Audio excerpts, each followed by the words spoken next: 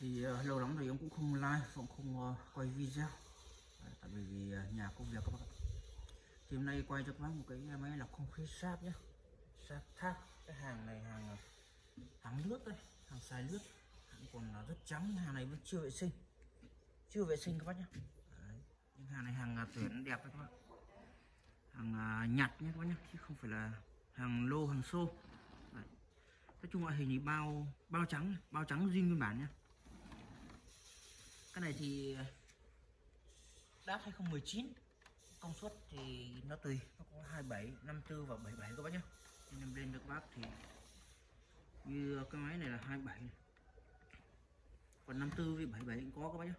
Đấy, các bác à, có nhu cầu mua cho phòng khách thì sử dụng tầm 54 là tương đối ok rồi. Còn các bác muốn to nữa thì 77W nhé. Em lên cho bác đây là cái máy này 27W này. Đáp 2019 hàng à, tuyển chọn. Cái này thì sử dụng cho phòng ngủ. Đấy.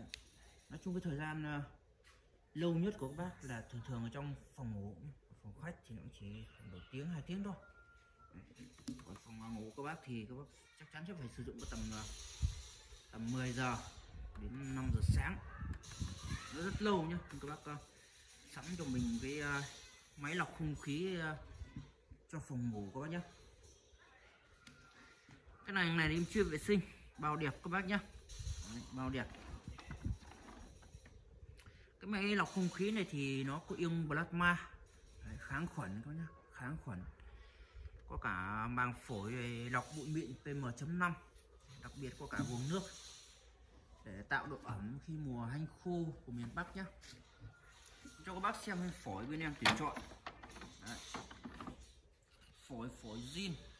Phổi zin theo máy phổi rất đẹp các bác nhé phổi rất đẹp. Cái hàng 27W thì chỉ có màng phổi thôi các bác nhé chứ không có màng than. 54 với 77W thì nó có màng than nhé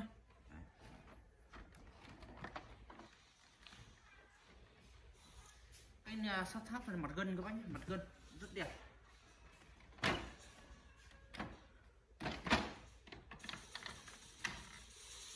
Đây là cái uh, hộp đựng nước này.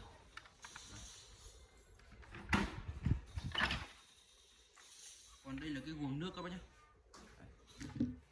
Guồng nước này tương đối đẹp các bác nhé. Nó chỉ có một chút dơ thì cái này nó chỉ là cặn canxi thôi. Cái này thì khi thời tiết hanh khô nó sẽ bù ẩm cho các bác nhé. Tự động các bác để chế độ tự động nó sẽ bù ẩm cho các bác nhé còn đây là các bàn phím này các bàn phím này thì các bác có thể search trên Google cách sử dụng của lọc không khí sáp tháp. Cái dòng sáp tháp này tức là tầm trung các bác nhé tầm trung. Bây giờ thì rất uh, chạy. Hàng sáp tháp này rất chạy nhé.